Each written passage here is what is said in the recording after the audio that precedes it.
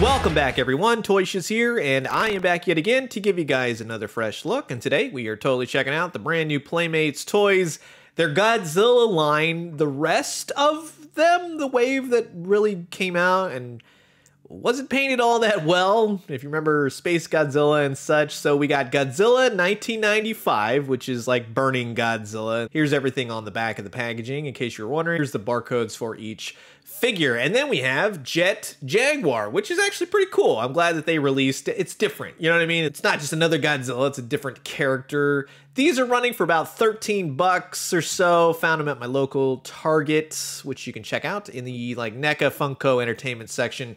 Or if they have like an anime section at Target, some of those. So sit back, relax, grab yourself a nice hot cup of coffee. This is a look at the brand new Playmates Toys Jet Jaguar and 1995's Burning Godzilla.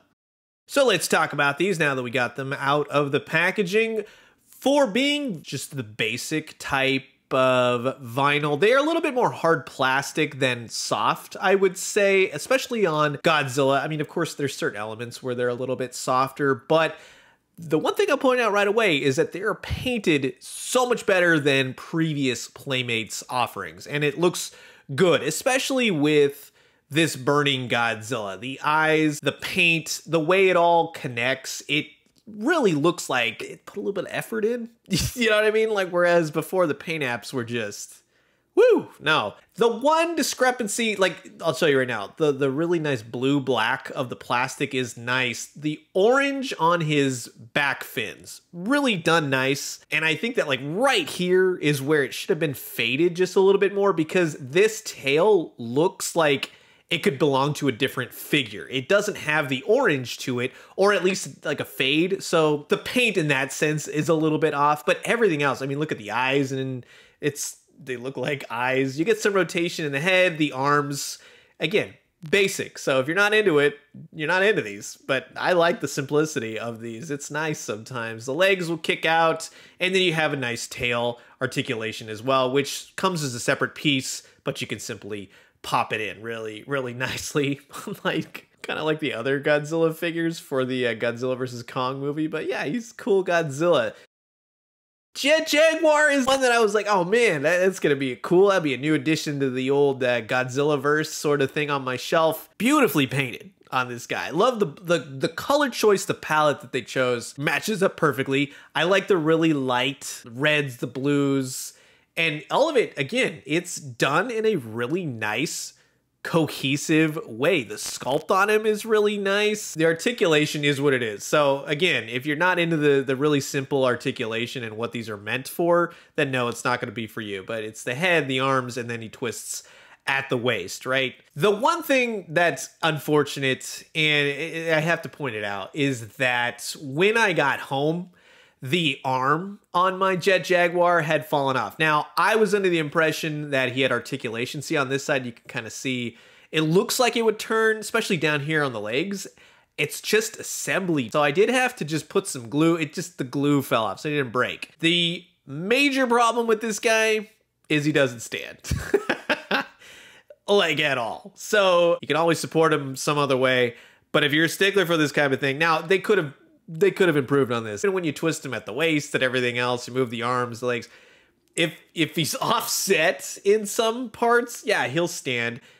I recommend a stand. Now, that's not ideal. So in that sense, I'm going to say if you're a big Jet Jaguar fan, this will probably be for you, but for those of you just whatever's, no, this is not going to work.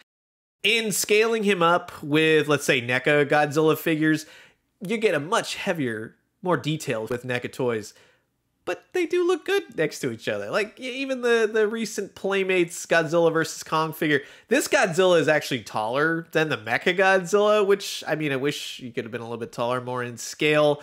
Jet Jaguar, same thing. You know, he'll go well with other monsters Godzilla, Kong, all that kind of stuff. They're fun to kind of mash them up and put them together. Let's say the NECA Kong with Jet Jaguar, a little bit taller and such. So it's a it's a mixed bag. But I would say for the most part, they're all around that general scale for these types of figures.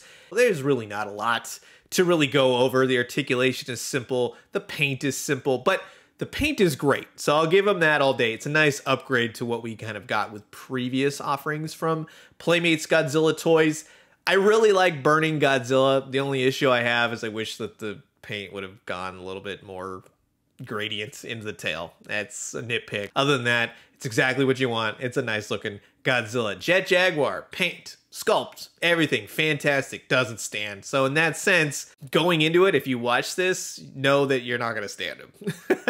Unless you get a stand, which, I mean, works, but ideally, no, you'd like him to stand. Put peg holes on the bottom of the feet of these things. You know what I mean? If you can, that would have been better some way, or give him a stand in the box, or don't have him sculpted like that. There's another thing.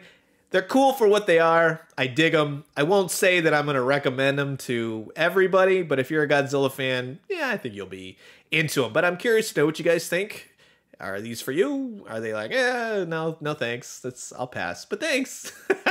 you know, let's talk everything Godzilla and the monsters and Jet Jaguar and what's your favorite Godzilla movie? I'm really enjoying all the Godzilla toys that are coming out right now. This is this is fun. So I'm gonna leave you guys with that. As always, drink some great coffee, eat some great food, but most importantly, remember when it comes to Godzilla, there's only one king of the monsters. It's Kong people are like unfollowed. And when you do, let me know what you found. I'll talk to you guys soon. Adios.